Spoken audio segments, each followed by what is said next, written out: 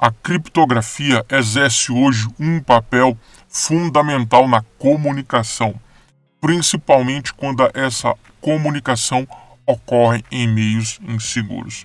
Falo não só da confidencialidade, mas também de outros aspectos que a criptografia nos proporciona nessa comunicação.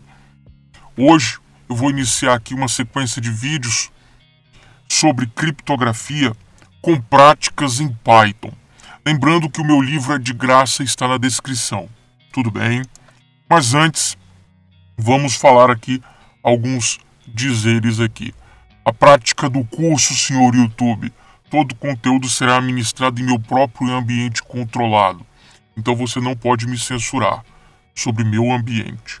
Se algum aluno faz algo fora deste contexto, ou seja, de seu próprio ambiente, é de responsabilidade do aluno. Qualquer marca, qualquer empresa, qualquer coisa que eu cite aqui, não é para denigrir a imagem de ninguém, é apenas para fins educacionais.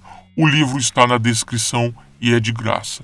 Clicou, leu, nem cadastro, eu vou lhe exigir.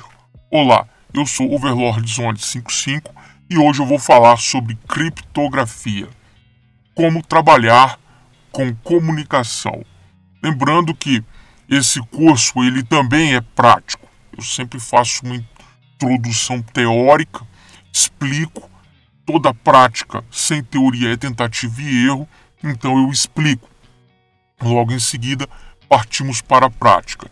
E já estamos iniciando vários projetos de código aberto no GitHub que levam em consideração tudo que esse livro, entre outros livros que eu já escrevi, falam.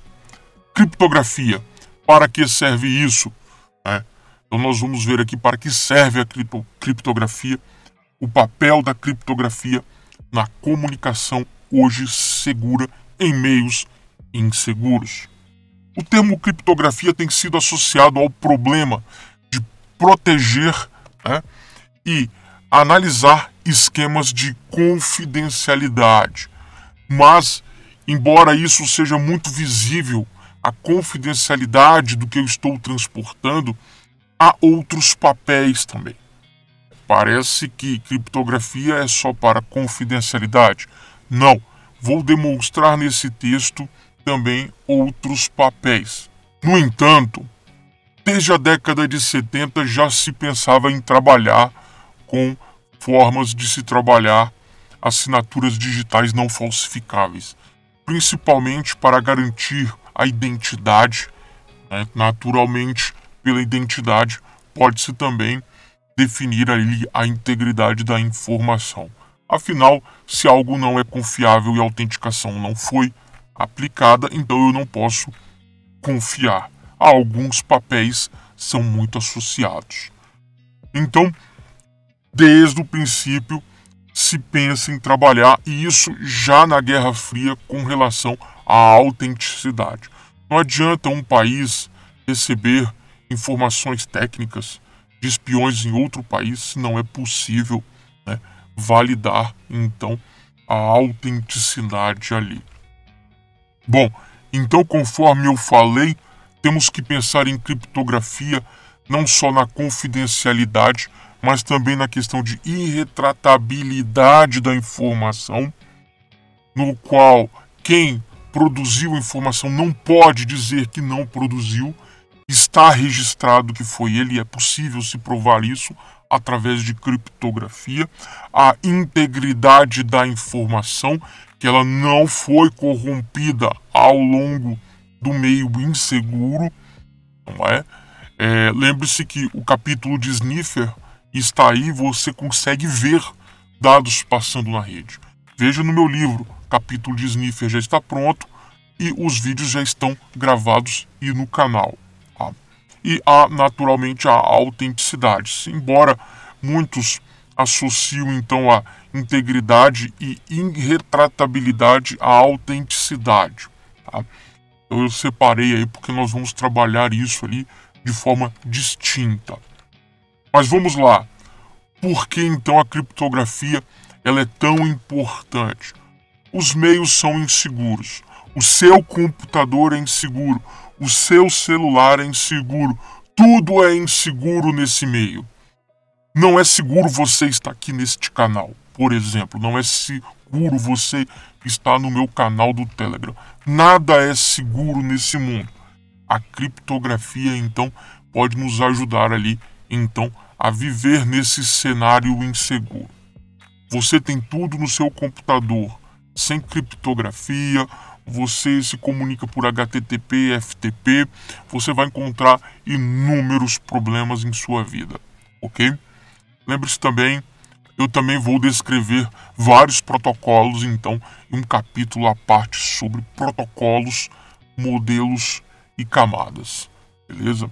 Então, o problema de fornecer a comunicação secreta em mídia insegura é o problema mais tradicional e básico, então, nesse cenário de criptografia.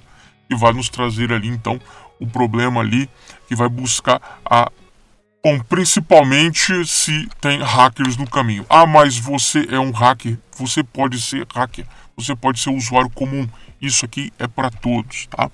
Lembrando que os maiores ataques que eu já recebi foram de grupos hackers. Então, é um ambiente muito inseguro. Não confie em ninguém aqui. Mensagem. Então vamos supor então que à tua esquerda você tem um remetente e à tua direita você tem o destinatário. Vamos ver aqui o básico, básico de uma criptografia que busca confidencialidade na troca de uma informação. Lógico, a IED é 10, a IED é pop, a IED é YouTube. Você vai ter uma mensagem ali que você vai querer trocar entre o remetente e o destinatário. Chamamos isso de texto plano. Texto plano. Se eu mando essa mensagem no canal, o hacker consegue facilmente detectar o texto plano. Bom, existem uh, vários protocolos que trabalham com texto plano. Cito HTTP, cito FTP, SMTP, tá? Telnet, beleza? E o que eu estou falando? Que quando você transporta palavras-chave como password, então mecanismos começam a monitorar aquela comunicação. Tá? Mesmo que uh, você faça um embaralhamento básico, né, tipo uma cifra de César, você já atrapalha esses mecanismos automáticos. Beleza? Eu vou explicar ainda o que é cifra de César, o que é embaralhamento e o que é criptografia mais para frente nos próximos vídeos, mas está tudo escrito no livro que aí é de graça. Curta sempre esse canal, compartilhe. Tá? Então vamos lá. Você passa por um mecanismo de criptografia. Eu ainda vou explicar o que é criptografia, vou explicar sobre as características de uma criptografia. A mensagem então ela passa a ser alterada. Lógico, né? A IED é 10 virou aquela sequência de caracteres ali, lembrando que eu sou dislexo. Por isso eu não posso definir o que é aquilo. E essa mensagem então ela é transportada pelo meio, do remetente até o destinatário. E nesse meio está o hacker, por exemplo, snifando. Volto a lhes alertar. Canal aqui tem a, na playlist Sniffer em rede. E lá inclusive eu mostro como buscar senhas de FTP na rede. Ó, lembrando que sempre o cara comete a besteira né, de criar o mesmo usuário e senha para o serviço FTP da empresa. Então, se você snifa e pega do FTP usuário e senha, a grande chance desse usuário e senha ele ser o mesmo do servidor Linux. E aí você ingressa com a conta do cara. Porque o FTP vai transportar a mensagem sem a criptografia no canal. Então, o sniffer hacker consegue obter. Lembrando ainda para os senhores que nesse canal de, eu falo muito sobre a a topologia da rede e como o Wi-Fi é um problema, como o Wi-Fi é uma maldição, né? Olha os problemas aí, tá? Curta sempre esse canal, compartilhe, fique comigo que você vai ficar fera em Linux. Então no destinatário você chega a mensagem. A mensagem ela foi roubada pelo hacker também, tá?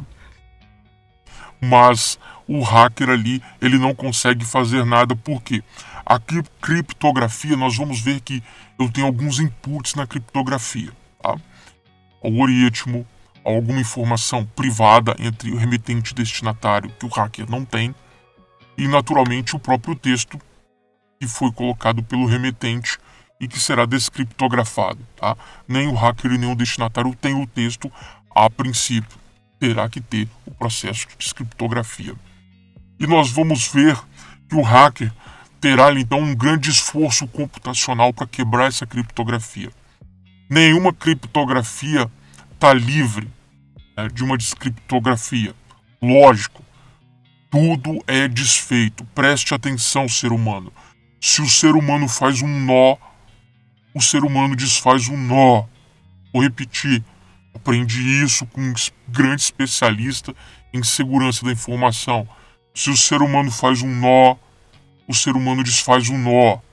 Tá? Hum. Mas é natural que pode ser que para o hacker isso exija um poder computacional que não vale a pena, então, a fazer esse trabalho. Tá? Nós vamos também no livro falar, na verdade o livro já tem, vou colocar nos meus vídeos, a questão então de funções one-way functions, né? as funções então de caminho único. Né? E aí eu vou falar sobre a complexidade computacional. Bom, então, baseado no input na descriptografia da mensagem criptografada, provavelmente alguma coisa comum entre o remetente e o destinatário, mais o algoritmo, eu vou então do destinatário obter a mensagem correta. O hacker fica a ver navios apenas com o texto criptografado. Tá? Mas veja, preste atenção o que, que é confidencialidade e o que, que é autenticidade preste atenção. Há muitos ataques aonde ele deixa de ser passivo e passa a ser ativo em uma rede. Preste atenção, deixa de ser ativo, desculpa, deixa de ser passivo e passa a ser ativo em uma rede. Eu não posso dar, eu destinatário, né, é, dar a essa mensagem certeza da autenticidade que foi enviado pelo remetente, o que o hacker pode ter então injetado essa mensagem na rede. Inclusive isso é um grande problema do projeto Borg. Quem não sabe o que é o projeto Borg, acompanhe meu canal.